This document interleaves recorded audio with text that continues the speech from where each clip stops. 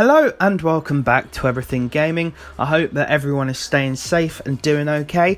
Uh, in today's video, obviously, I'm doing another weekly Forzathon guide.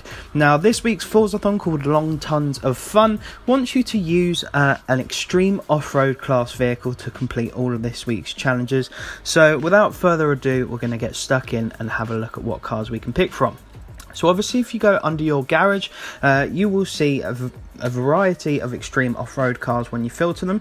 Uh, now, there is a, quite a few, but personally I went for the Bowler EXR-S. Uh, the reason being I use this one all the time for any sort of off-road racing.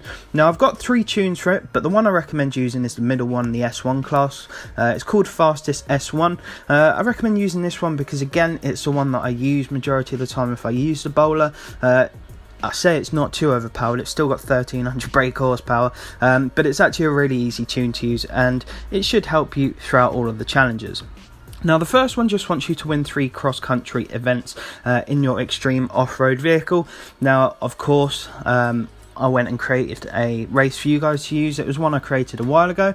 So if you head over to the Ambleside Rush cross country race, um, when you go there, obviously you can show all blueprinted events. So you set up your event for solo mode, or you can do it in co-op if you really want. Uh, when you go over to custom events, uh, you can hit the search button, um, and then if you type in the share code 622 uh, 388 275 uh, it will pop up with the race I've created. And of course, it's one of those races I've done uh, where I take the AI out of the track so you can just blast past. Um, and all you have to do is win this three times uh, and you complete the first challenge. It's actually a really, really easy one. The race itself takes, I don't know, the best part of 15, uh, 15 10 seconds. Um, the loading screens are longer to be honest, but it's a really easy first challenge there. Now the next one wants you to earn 20 wreckage skills in your extreme off-road vehicle, uh, and as per usual I headed over uh, to the Greendale airstrip where there's a ton of stuff to smash into. Now you can do this wherever you want because there is loads of smashable objects across the whole map, um, but personally I prefer the airstrip because I just know where everything is. Um, and there is again loads of smashable items in a small space. Um, you know, so it's really easy to rack up 20 wreckage skills. It might take about five minutes or so, um, but all you have to do is just smash into shit. That's it. nice, easy second challenge there. It really doesn't take too long. Um, and again, it doesn't matter which extreme off road vehicle you're actually using for this, um, because yeah, it's easy, whatever you're in. Uh, now, the last challenge just wants you to earn a total of 9 stars uh, from danger signs. Now, the best thing is this can be done on any danger sign you want. It can be done on three different ones or the same one. Uh, I went for the Ambleside Edge because to get 3 stars on this, you only need like 650 feet.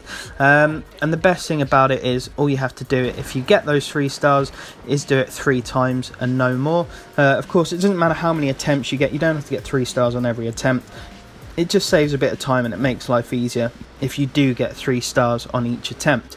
Uh, so actually that's a nice and easy final challenge to end off on there, uh, especially with that jump. You don't really need to get a ton of speed to get 650 feet, uh, so it will be a very, very easy challenge. And of course, it's really quick to just drive back and do it over again, and you just repeat that uh, two more times after your first run. Anyway, guys, I hope that you enjoyed this video, um, and I really, really hope it helped you out if you need any help. But of course, I know you're all fools of pros by now. Um, and lastly, I want to say I hope you're all staying safe. Make sure you continue to do so, um, and obviously follow your government's advice wherever possible. I feel like I'm sort of just sort of a spokesperson for various governments here. I'm not trying to sound nerdy or anything, but obviously just want you guys to stay safe. Anyway, a massive thank you for all your support. Hope you enjoyed. Massive thank you, take care, and goodbye.